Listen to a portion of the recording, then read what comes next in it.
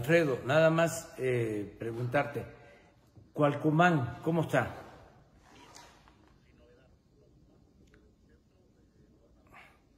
Apatingán y esa zona.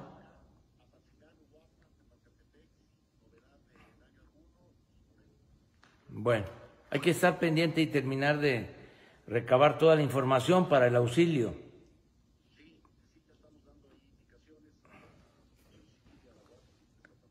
Bueno, te mando un abrazo, un abrazo, Alfredo.